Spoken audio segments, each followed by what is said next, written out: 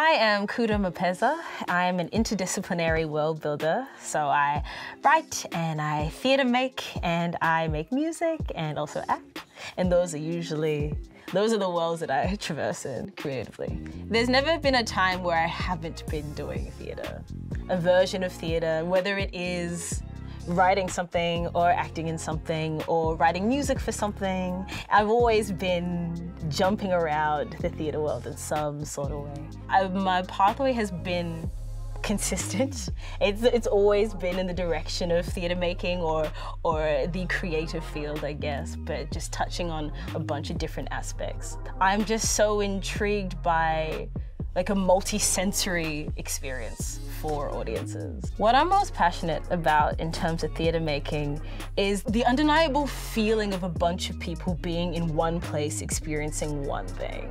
I think sometimes with other mediums you can kind of like lug it off or close your eyes or put it away or change your mind. But with theatre, like you've you're in a seat and you're staying. Like that is such a privilege to have people sit for an hour or more and listen to what you have to say. And people allowing themselves to to step out of the, the real world and into this world that's been conjured up by a bunch of other human minds is incredible. What excites me the most about assistant directing on Is God Is is that everybody in the room is so damn talented and so has such rich knowledge.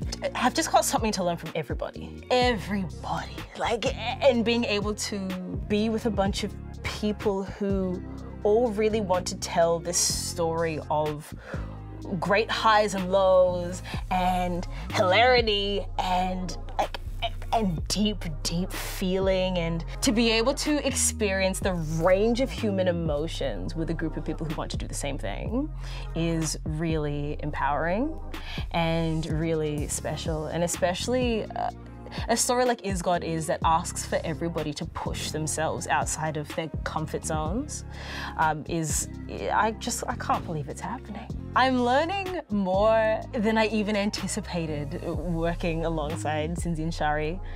The two of them are such a dynamic duo. The way that they direct is so different yet so complementary. I remember I was sitting and having a conversation with them about just how, how they got here to directing. And so much of it is really akin to why I find myself here. It's a, it's a, it's a matter of seeing the way that things have been done and going, oh yeah, I think that, you know, I've learned from that lesson and that lesson and that lesson on what to do and what not to do and like, let's create a space that is empowering for, uh, for people of color, that is empowering for those who are making the story and holistic throughout the process.